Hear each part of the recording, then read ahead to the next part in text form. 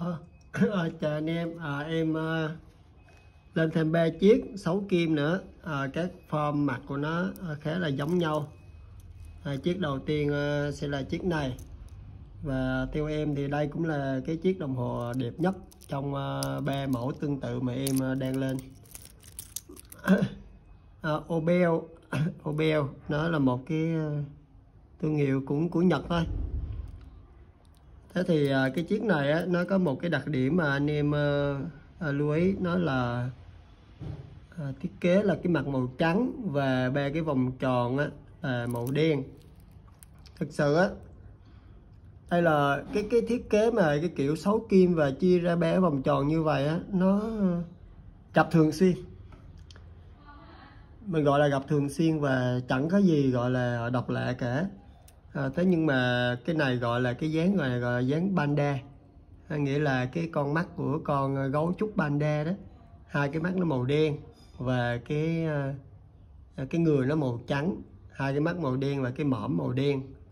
Thì đây chính là cái form gọi là form panda. Và nó cái cái kiểu này cái kiểu phối màu này nó rất là đẹp.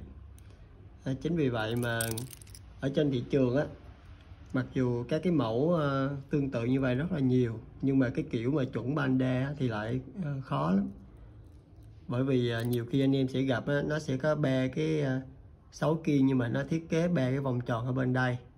Hoặc là nó không phải niền trắng à, mặt đen mà là cái niền trắng mà là mà niền đen mặt đen thì đòi loại vậy. Thì ở đây em có khá là nhiều các cái mẫu khấu kim nhưng mà hôm nay này mới chính thức về được một chiếc gọi là panda đó. Thật sự nó là panda đây.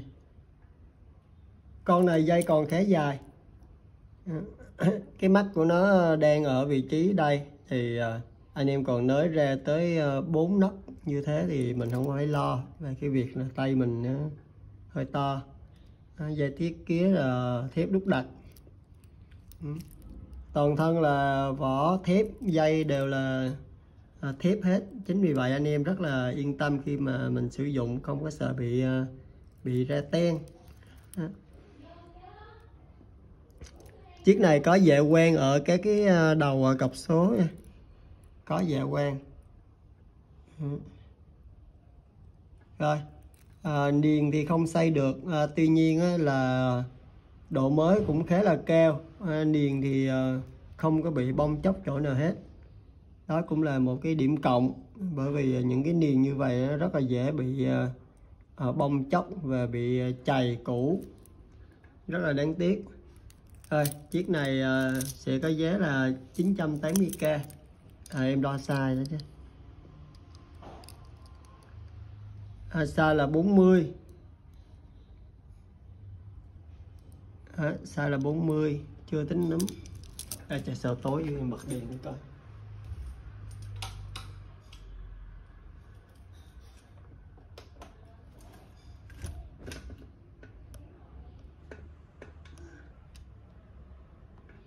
Rồi ok. Có vẻ như là sáng hơn rồi đó.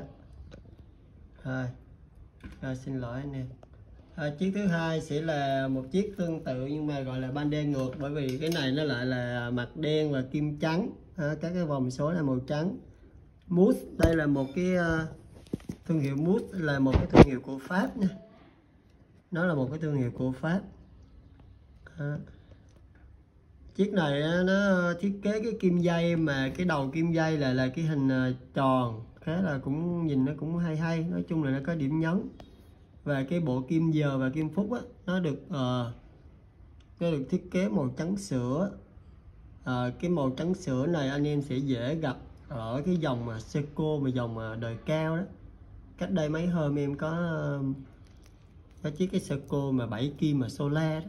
thì là nó sử dụng cái cái kim màu trắng sữa như vậy và nó màu trắng toàn bộ cái kim luôn. Đó. Thôi, chiếc này thì niền niền nó có khí nhưng mà cuối cùng là cũng không xây được. Rồi dây cũng là dây thép đúc nha. Đó. chiếc này thì ờ, dây nó còn hơi ngắn. Dây này chắc cỡ tay mấy anh em cái chừng ờ, chắc em nghi chắc cỡ 17 quá rồi em vừa mới ướm trên tay em á, thì à, à vậy là con này chắc cỡ 17 năm. Nhưng mà thôi để à, chắc cú em sẽ à, kiếm thêm. Mắt thừa à, gửi cho anh em. Size chiếc này thì thôi à, khoảng à, chắc cũng cỡ size chiếc kia quá. Ở y chang luôn à, 39 chiếc kia là 40 chiếc này 39 chiếc này à, giá sẽ à, tốt hơn 100 nghìn. À, đó là Ờ, à, 880k ừ. đấy của nó nè đây là cái cái logo uh, của cái thương hiệu Moose ừ. rồi ok và chiếc thứ ba à, cũng à, cũng kiểu tương tự như vậy và là thương hiệu à, Seventor Mare nó là một thương hiệu của Ý này. và cái chiếc này thì nó lại có dạ quang ở các cái à, đầu cọc số, cũng như là ở hai cái thanh kim này. Cái rãnh giữa của nó chính là cái cái cái khu dạ quang đó.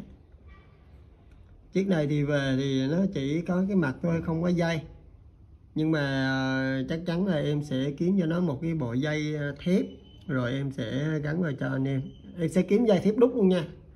À không, anh em nào mà thích dây thép rộng á thì à, em sẽ à, gắn dây rỗng còn dây tiếp đúc á, thì à, thích dây đúc anh thích nhiều anh em thích nặng tay đầm tay thì em gắn tiếp đúc.